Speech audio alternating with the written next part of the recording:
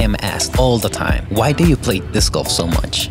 And the best answer that I can give is always, it's just something about disc golf. You might think that it's like any other sport, but I promise you, this is not the case. There is something about this sport that connects with you, and I think that's where it starts. Disc golf connects with yourself. Even if I totally have a bad disc golf round, I can't stop thinking about coming back out there. Back to that magical moment when I am in the course and I find myself thinking, what I did wrong. I need to improve my form. And then you have the grip locks, the wind. I think I overthink. Is this the right disc? Should I spin it?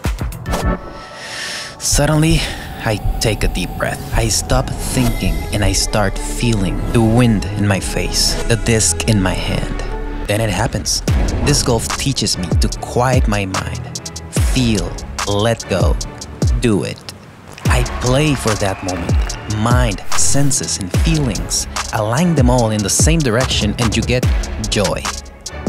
But disc golf is more than that. It's the walking nature, the closing of your computer, the discipline it requires. The people you meet, the hunting of the ace, the pleasure of a birdie. The good old need of aiming and shooting. The admiration that a pro player awakens in us, the desire of being better. The satisfaction of connecting with you ambition, what with your body actually does. The dream of winning, the camaraderie of people recognizing your skill.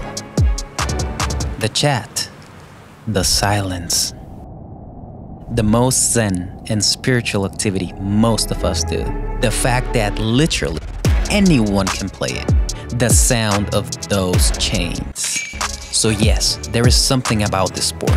I don't know what it is, but the whole world should have the opportunity to try it. Kasvatetaan lajia. Starkum idrotterna. Låt oss växa sporten. Invéntame sporti. Hagamos crecer el deporte. Let's grow the sport.